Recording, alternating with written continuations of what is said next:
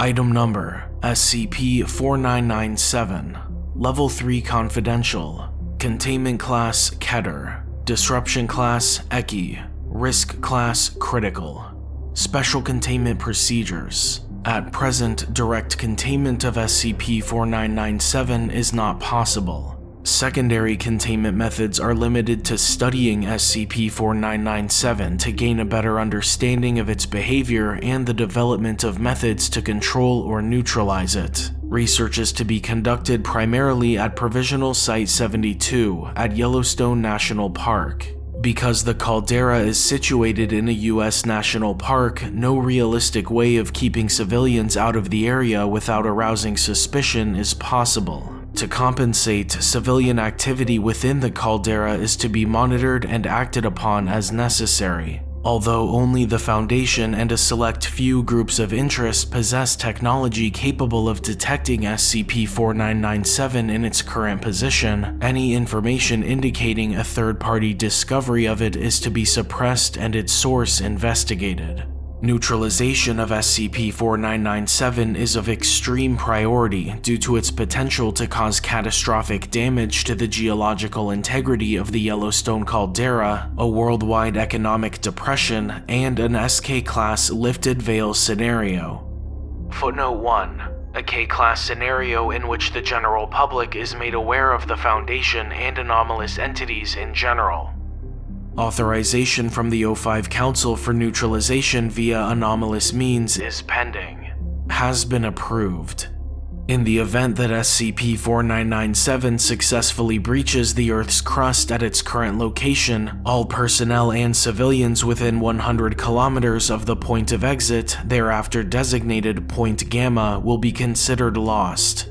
Point Gamma and the affected area surrounding it, designated Area Phi, is to be sealed off from as much outside attention as possible through any means necessary. Once SCP-4997 has emerged, all Foundation assets within 200 kilometers of Area Phi are to be utilized to neutralize the subject. Footnote 2. The use of nuclear and anomalous weaponry has been approved for such uses. Should these efforts fail, all Foundation personnel worldwide are to prepare for an SK-class lifted veil scenario. Description SCP-4997 is a massive organism currently located somewhere in the magma chambers beneath the Yellowstone caldera in Wyoming, USA. Likely resembling a large reptilian, estimates put its size anywhere between 15 to 30 kilometers long by 3 kilometers wide. Additional data suggests SCP-4997 possesses at least 300 limbs across its body that would theoretically enable terrestrial locomotion if on land. SCP-4997 is thought to be roughly 16 million years old, and thought to have primarily resided somewhere between the crust and asthenosphere underneath the North American tectonic plate near the border of Idaho and Wyoming for all of its known history. Judging from the geological record of the Snake River Plain, SCP-4997 is believed to undergo a semi-regular cycle of dormancy and activity, typically sleeping until awakening during so-called breaching events every few million years. During these events, SCP-4997 will breach the Earth's crust, causing catastrophic localized damage to the area before later returning to the Earth's interior. These breaches generate drastically increased volcanic activity in the surrounding areas. New breaches have always occurred within 200 kilometers of the previous emergence point, and SCP-4997 is thought not to have ever emerged from a previously breached site. Foundation biologists believe this behavior to be feeding-oriented. However, the collective flora and fauna surrounding historical emergence points should not be even remotely enough food to sustain an organism of this size. Additional theories claim it may be photosynthetic or feed off some other resource absent underground. Investigations into SCP-4997's motivation for breaching are underway due to their potential applications for neutralization. Discovery SCP-4997 was first discovered on September 12, 2016 by Foundation personnel planted at the Yellowstone Research Center, who had augmented the center's research equipment with Foundation technology to attempt to detect an unrelated anomaly which was at the time believed to be hiding underground somewhere nearby. The agents noticed unusual readings in the magma chambers beneath the park and pursued further study, which confirmed the existence of what is now designated SCP-4997. Provisional Site 72 was erected in the park to further the study of SCP-4997 the following year. In the summer of 2017, a site researcher proposed SCP-4997's breaching behavior, citing the geologic record of the Snake River Plain in a paper to the site director Dr. Jaskes. Further investigation into the proposal using confirmed with 98.76% accuracy that the researcher was correct in her inquiry. Footnote 3. She was later commended for her initiative and promoted to assistant site director on the authority of the site director. Following this discovery, the site's primary objective was changed to focus on the neutralization of SCP-4997. SCP-4997 Historical Activity Log Breach Point, Owyhee-Humboldt Caldera Notes First known site of SCP-4997 activity. Approximate occurrence 16 million years ago.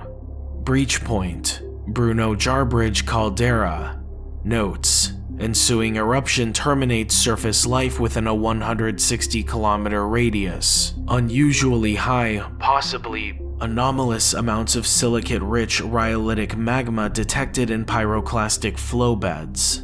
Approximate occurrence 15 to 13 million years ago. Breach Point, Twin Falls Caldera. Notes very similar to the Bruneau-Jarbidge eruption, in addition to fine ashfall spreading to distances greater than 1,000 kilometers away. Approximate occurrence 12 to 10 million years ago. Breach Point, Hagerman Caldera. Notes occurred within an extremely short time of the occurrence of the Picabo caldera, which would be formed soon after. Motivation for SCP-4997's apparently early breaching remains unknown. Approximate occurrence 12 to 8 million years ago. Breach point Picabo caldera. Notes occurred within an extremely short time of the formation of the Hagerman caldera, Motivation for SCP-4997's apparent early breaching remains unknown.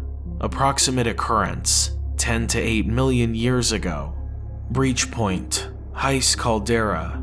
Notes occurred much earlier than anticipated based on previous breaching patterns, could indicate an acceleration of time between dormant and active periods. Approximate occurrence 6 to 4 million years ago. Breach point Yellowstone Plateau. Notes The most recent breaching event to date. Taking the possible breaching pattern's acceleration and recent geological activity into consideration, SCP-4997 could breach within the next 50 years. Approximate occurrence 2.1 to 0.6 million years ago. Addendum 4997-A August 3, 2018 marked the beginning of a gradual increase in the intensity and frequency of seismological activity in the vicinity of the Yellowstone caldera. Taking the historical rate at which SCP-4997 has emerged into account, it can be inferred that SCP-4997's current dormant period is ending, and SCP-4997 could be preparing to breach. It is unknown when exactly it will occur, but according to additional research, it could be as soon as 2025. Note from Dr. Jaskes It's almost funny. At first, the researchers all marveled about how amazing and incredible this discovery was. And admittedly, I felt the same for the first while. A massive lava creature had been sleeping beneath our very feet for God knows how long, and we had no idea for the longest time. Rather Lovecraftian. Although it's not like we haven't dealt with things like that before. We theorized about its cell structure, how it reproduced if it indeed could, and how a species even began to develop down there. It's a whole new frontier for biology. Asthenobiology, I think one of my colleagues referred to it as. Once our awe had faded, reality set in, and we began to realize the magnitude of what we had discovered. Have you ever read of the Toba super eruption that happened tens of thousands of years back? It almost wiped humanity from the face of the earth. Yellowstone could be similar. It's no secret that the Yellowstone caldera has always had an air of impending yet admittedly majestic doom about it. You could pick up any tabloid newspaper nowadays, and odds are you'll see some article about how Yellowstone is about to erupt and we're all doomed. Anywhere you look about Yellowstone, there's some guide or video about how its eruption will plunge the world into a massive winter, people will starve, airplanes won't work, yada yada. So, we set out to find a way to neutralize this amazing creature, as rich in scientific potential as it was. Then we found the second one, and the third, and the fourth. By the time we noticed the triplets sleeping beneath Mount Vesuvius, we realized the Foundation had a bigger problem on its hands. These things weren't just at our front door, they were all over the whole proverbial neighborhood Ethiopia, Sitkin, e- even Cleveland. Footnote 5 Cleveland, Alaska, not to be confused with Cleveland, Ohio. We had just never seen anything out of place, and why would we? Between the deadly, inexplicable, and simply bizarre things the Foundation already has to deal with on a daily basis here on the surface, the idea of having to deal with something of this magnitude from below seemed far from favorable. Soon enough, we began to connect the dots and marveled at our own blindness. These creatures, these embodiments of ancientry itself, you could say, have been wreaking untold havoc for longer than we can imagine. To make matters worse, the geological record revealed something even more terrifying. Many of them are overdue. These behemoths can practically eat mountain ranges for breakfast, and there are untold hordes of them waking up on our doorstep like lit fuses running short. So, how long do we have before those fuses run out?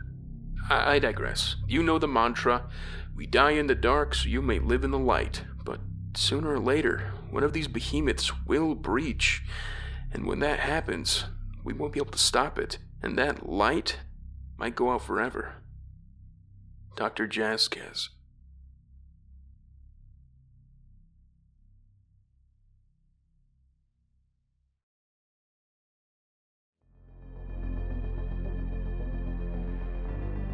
Thank you all so much for watching. If you enjoyed the video, please leave a like and consider subscribing for more videos just like this. Huge thank you to all of my patrons on Patreon and a special shout out to Everborn, Joe Light, Tanis, Ruler of All, Kenway, and Doomsday LLC, Prince and Design. If you'd like to help support the channel, check out my Patreon, link in the description.